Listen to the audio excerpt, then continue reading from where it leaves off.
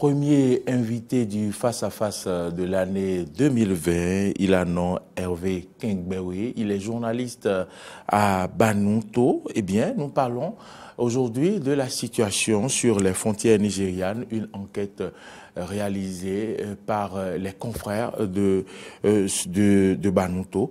Et donc, euh, voilà le décor ainsi planté. Hervé Kengbewe, bonjour. Bonjour Mauril. Merci d'avoir accepté notre invitation. C'est moi qui te remercie.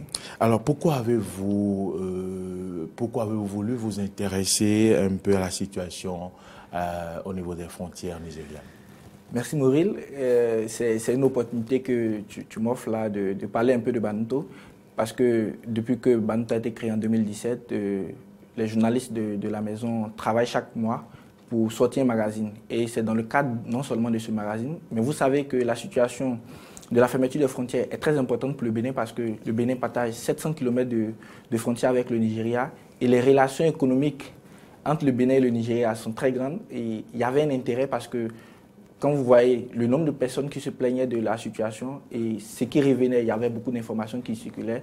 RFI écrivait des, de grands médias écrivaient des choses. Donc nous aussi, nous avons décidé de nous intéresser à la situation pour savoir quelle est la situation réelle au niveau des frontières, quelles étaient les, conséquences de cette décision du président nigérien sur le Bénin. C'est vrai que euh, je me rappelle, notre euh, ministre d'État, Abler Biachane, dans une interview, avait déjà évoqué la situation pour dire que si la, situation durait, euh, cela aurait des, des conséquences sur l'économie béninoise, mais à quel taux, on ne savait pas et on a décidé d'aller pour voir un peu, de visu, constater nous-mêmes, essayer de voir quel était l'impact sur notre économie et quelles étaient les dispositions que eh, les Béninois, les commerçants nigériens qui sont au Bénin prenaient pour essayer d'amortir tant soit peu cette situation-là. Et justement, dans le cadre de ce travail, vous vous êtes intéressé à la vie des transporteurs et des apprentis chauffeurs euh, depuis la fermeture des frontières euh, du Nigeria avec euh, le Bénin. Dites-nous, qu'est-ce qu'il en est? Il faut avouer que c'est une situation très difficile que nos, compatriotes béninois qui sont transporteurs et les, personnes, les transporteurs d'autres pays, notamment Ghanéens, Togolais, Ivoiriens, souvent même Burkinabés, vivent au niveau de la frontière parce que vous vous imaginez, depuis la fermeture, il y a plus de 1300 camions qui sont bloqués au niveau de la frontière. Et à ce niveau-là, quand vous arrivez, les gens s'étaient dit au début que ça devrait prendre quelques jours. Certains se sont dit, bon, surtout que le Nigeria avait annoncé que ça allait durer que 28 jours. Donc les gens se sont dit, bon, ça va passer tout à l'heure. Et petit à petit, le temps passait et rien ne se profilait à l'horizon. Du coup, la plupart, parce que généralement, quand les transporteurs vont à la frontière, mm. donc ne pas font le trajet, mm. ils ont un peu de, des frais de mission et tout ça. Vous imaginez, les gens commençaient à, à, tout dépenser au niveau de la frontière. Il fallait se nourrir, il fallait se, euh, qu'on appelle, satisfaire ses besoins. Mm. Et tout ça, ça fait que très, très vite, les ressources qu'ils avaient se sont épuisées. Mm. Ils ont dû appeler une première fois, on a emporté parce qu'on se disait, bon, ça va se régler d'ici là. Et voilà, la situation a commencé à perdurer. La plupart des patrons, notamment les chauffeurs eux-mêmes, sont retournés, en tout cas les, étrangers sont retournés chez eux. Moi, j'ai constaté que nos frères, les Béninois qui sont à la frontière, se sont reconvertis dans de petites activités, au niveau de la frontière. Et quand vous regardez... Et, ils ont gardé toujours espoir que la frontière... En fait, c'est dans l'espoir parce que tous les camions sont bloqués. Et ça faisait partie des plaintes que j'ai enregistrées au niveau de la frontière. Mm. Parce que ceux qui sont venus, généralement avant de venir à la frontière, il y a un itinéraire qui est déjà tracé. Donc, ils ont un document qui dit voici le trajet que vous allez parcourir.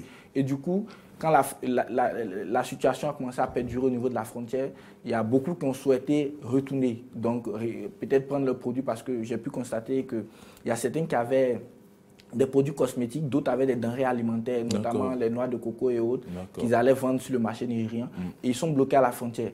Les denrées périssables, c'est sûr qu'il y aura beaucoup de pertes à ce niveau. Mm. Par contre, les, transporteurs qui ont loué, parce que la plupart des importateurs et s'adresse à des, transporteurs, donc ils font de la location.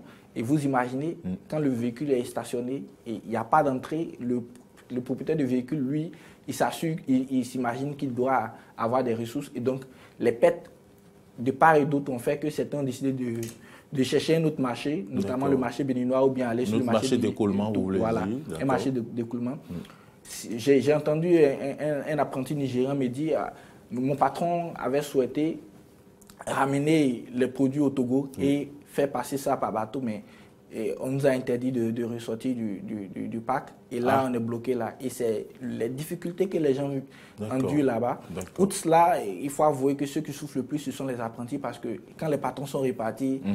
plus de ressources, les, les jeunes hommes. Les patrons ont laissé les apprentis sur place. Sur place, et donc, parce que euh, avec, il y, a, beaucoup de. Pour surveiller les, camions, les camions parce que, et les marchandises. les cas de vol sont, récurrents là-bas parce que entre les apprentis eux-mêmes, ils ont commencé à se débrouiller. Mm. Ce n'est pas une bonne manière, je, je me sens de griffe. Mais il y a des. Moi, quand j'étais allé là-bas, j'avais constaté le jour là, il y avait un problème de, de vol et ils étaient en train de régler la situation parce qu'il y a un apprenti qui allait voler dans un autre camion et c'est récurrent là-bas d'après ce que euh, mes sources m'ont donné.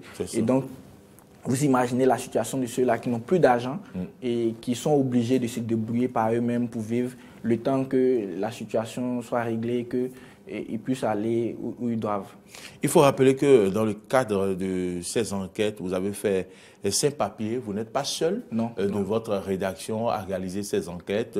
Et donc, euh, certainement qu'on aura l'occasion de d'écouter aussi les autres euh, qui vont passer peut-être ici, nous parler un peu des résultats de leur enquête. Quelles sont les difficultés principalement que vous avez rencontrées? Il faut avouer que la première difficulté que moi j'ai eue, parce que c'est vrai qu'à l'école on a appris l'anglais, mais bon, on ne s'exprime pas très bien en anglais. Mm. Donc ça a été la difficulté majeure pour moi parce que non seulement c'était la première fois que j'arrivais à la frontière nigériane, mm. donc je débarque à la frontière, je ne sais pas comment m'orienter, c'était la première fois que je, voyais autant de circulation au niveau de cette frontière-là. Donc j'ai d'abord commencé à, observer pour voir un peu dans quel sens les gens allaient, mm. quels étaient les couloirs, surtout vu la situation particulière qu'il y avait, parce que quand c'est comme ça au niveau de la douane béninoise, que du côté nigérien, les, les restrictions étaient là, excusez, il y avait beaucoup de restrictions, les gens étaient chacun dans son couloir, il ne fallait pas déborder ici, il fallait pas. Donc quand je suis arrivé, j'ai d'abord observé et par la suite. Vous êtes arrêté, vous avez observé le mouvement Oui, je me suis arrêté, je me suis baladé à certains endroits, pas trop loin de, du côté béninois et j'ai observé comment est-ce que les gens circulaient, où est-ce que les gens passaient, quels étaient les circuits qui étaient tracés. Et par la suite, j'ai commencé moi-même à bouger dans tous les sens au niveau de la frontière et j'ai constaté d'abord. Et après, j'ai cherché maintenant quelqu'un pour m'aider à, rentrer en contact avec les acteurs au niveau de la frontière, notamment les transporteurs. Et j'ai pu rencontrer le président des, transporteurs, de groupe, de, groupe auteurs pardon, mm. au niveau de la frontière, avec qui j'ai discuté. J'ai eu la chance de rencontrer des, transporteurs, que ce soit béninois, nigériens, et ghanéens et togolais, avec qui j'ai échangé des difficultés qui, qui vivaient au niveau de la frontière.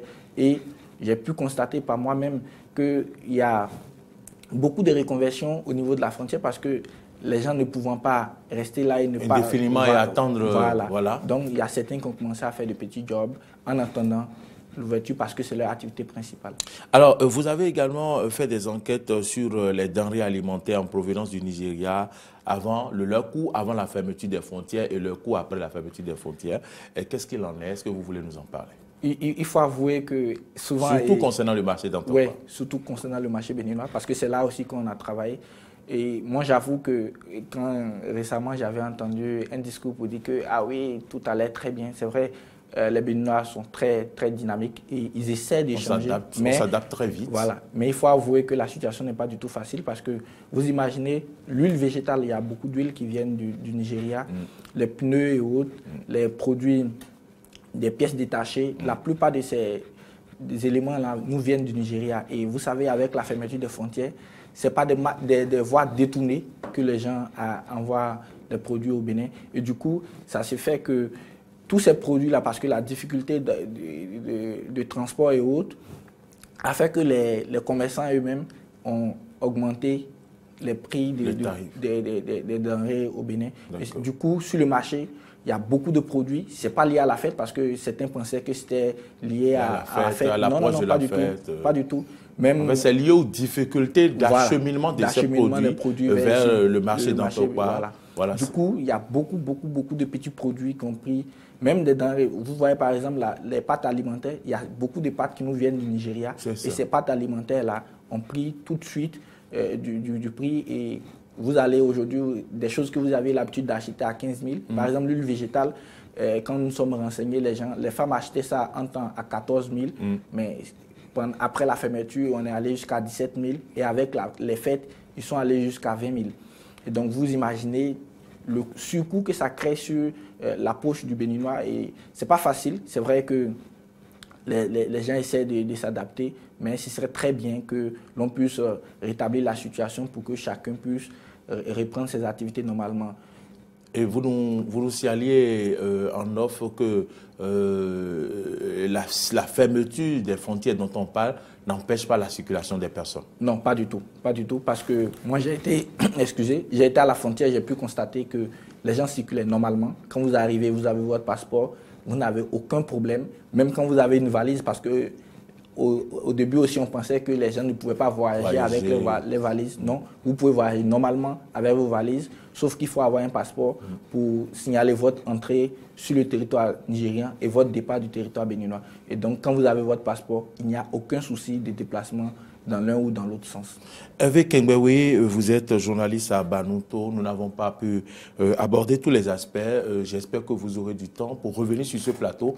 Pourquoi pas la semaine prochaine, pour qu'on parle, par exemple, de euh, ces investigations que vous avez eu à faire sur euh, la situation des producteurs béninois qui vendent leurs produits sur le marché nigérien. Vous avez également travaillé, je parle de votre rédaction, sur euh, les vendeurs de pièces détachées qui s'approvisionnent au Nigeria, ce qu'il en est. Je pense qu'on va revenir sur ces deux aspects, pourquoi pas la semaine prochaine, si vous nous le permettez, votre mot de fin. Moi, je suis disponible. Euh, un mot de fin, c'est un appel que je vais lancer parce que quand vous avez eu la chance d'aller à la frontière, de voir comment est-ce que les gens souffrent, vous, ne pouvez pas être insensible à, cela. Et pour moi, c'est d'appeler de part et d'autre, parce que la situation, ce n'est pas le Bénin qui peut décider tout de suite de la réouverture de la frontière, c'est des deux parties. Et ce serait très intéressant que les, chefs d'État se parlent et que très vite, on puisse trouver une situation qui... On peut trouver une solution pendant cette situation qui est préjudiciable non seulement aux Béninois, mais aussi aux Nigériens. Mm. Merci d'être euh, venu. Hervé Kengbewi, nous l'avons reçu euh, sur ce jour sur Face à Face.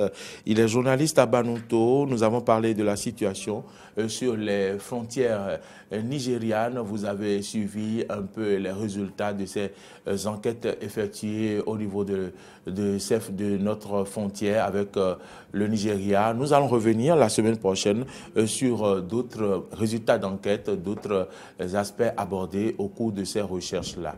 Merci de nous avoir suivis, Madame, Messieurs, et je vous laisse en compagnie de Natacha Koufi.